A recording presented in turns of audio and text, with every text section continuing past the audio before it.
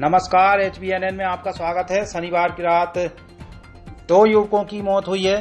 दोनों युवकों की मौत सड़क हादसे में हुई।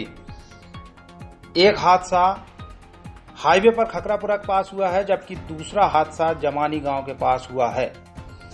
आइए अब आपको बताते हैं कि हादसे कब, कहाँ और कैसे हुए। किस तरह से इन युवकों की मौत हुई है।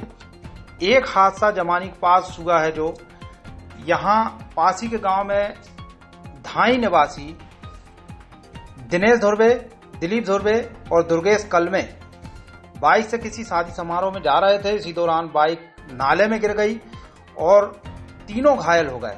घायलों को जब सरकारी अस्पताल ले जाया जा रहा था, उसी दौरान रास्ते में दिनेश धुर्वे की मौत हो गई।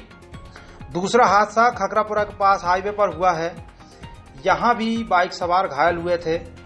दोनों भोरा के रहने वाले हैं। एक का नाम राजेश पिता मुन्ना लाल है, जबकि दूसरे का नाम जीतेंद्र पिता महेश है। दोनों घायल हो गए थे। घायलों को अस्पताल ले जाते समय राजेश की रास्ते में ही मौत हो गई। यदि आप हाईवे पर या बाइक से सफ़र कर रहे हैं, उस दौरान अपना खास ख्याल रखें, हेलमेट पहने और कोशिश करें कि बाइक धीमी चलाएँ। तो जुड़े रहिए हमारे चैनल एच से।